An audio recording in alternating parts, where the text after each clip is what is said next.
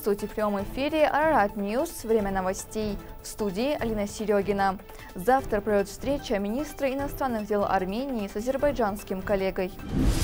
МИД Армении подтвердил, что в Нью-Йорке состоится встреча глав МИД Армении и Азербайджана при посредничестве госсекретаря США. 26 сентября в Нью-Йорке состоится трехсторонняя встреча глав МИД Армении Арарата Мирзояна, госсекретаря США Энтони Блинкена и министра иностранных дел Азербайджана Джейхуна Байрамова. Об этом написал в социальной сети пресс-секретарь армянского МИД Ани Бадалян. Ранее азербайджанское издание «Туран» сообщало, что Блинкен завтра проведет встречу в Нью-Йорке с министром иностранных дел Армении и Азербайджана с целью проведения заключительного этапа мирных переговоров. Недавно Блинкин отдельно поговорил с лидерами Армении и Азербайджана по телефону, после чего приветствовал недавний прогресс между сторонами, включая соглашение о регулировании делимитации границы.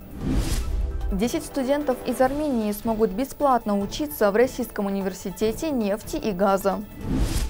10 абитуриентов из Армении получат возможность бесплатного обучения по программе бакалавриата Российского государственного университета нефти и газа имени Губкина. Об этом сообщает пресс-служба «Газпром Армения». Участниками программы смогут стать лица до 30 лет, имеющие гражданство Армении. Абитуриенты будут отобраны по результатам экзаменов по математике, физике или химии, русскому языку и собеседования. По окончании учебы все 10 выпускников будут обеспечены работой в ЗАО «Газпром Армения» образования. В прошлом году по аналогичной программе в Российский университет нефти и газа поступили четыре молодых человека из Армении.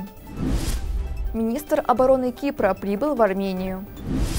Министр обороны Армении Сурен Папикян принял кипрского коллегу Василиса Пальмаса, прибывшего с официальным визитом. Как сообщает пресс-служба ведомства, в административном комплексе Минобороны прошла церемония встречи Пальмаса с участием почетного караула и военного оркестра. Пальмас предложил расширить формат совместных учений с Арменией и сделать акцент на обмене технологиями в рамках военно-технического сотрудничества. Он отметил, что военное сотрудничество Армении и Кипра включает широкий спектр мероприятий, мероприятий, в том числе совместные учения, взаимные визиты военных и оборонные закупки. Ереван и Никосия также расширяют сотрудничество в военно-образовательной сфере. Напомним, прошлые учения подразделений специального назначения были в ноябре 2023 года. В них участвовала и Греция.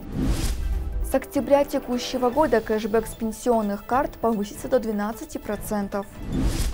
Кэшбэк на безналичные покупки с пенсионных карт в Армении с октября будет повышен с 10% до 12%. Об этом сообщает Министерство труда и социальных вопросов. Отмечается, что его максимальная сумма с 5000 драм возросла до 6000. При этом кэшбэк не будет распространен на оплату коммунальных услуг. Напомним, что по данным ведомства кэшбэком пользуются около 45% пенсионеров республики. А всего пенсии по карточкам получают большинство пенсионеров – около 540 40 тысяч человек. В июле объем безналичных покупок с пенсионных карт достиг 9 миллиардов драм. Археологи из Армении и России обнаружили в Ереване уникальную гробницу Железного века.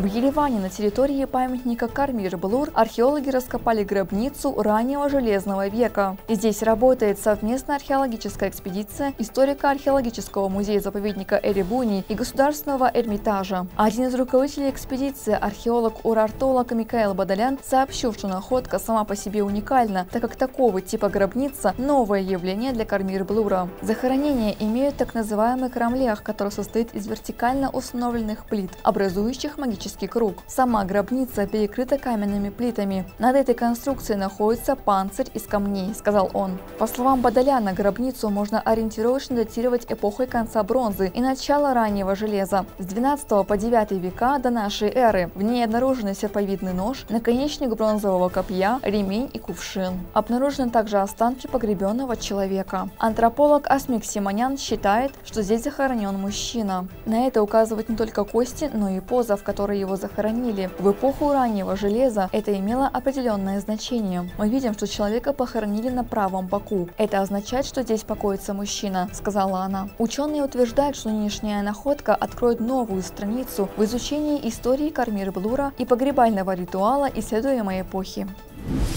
Это были все новости к этому часу. В студии работала Алина Серегина. До новых встреч!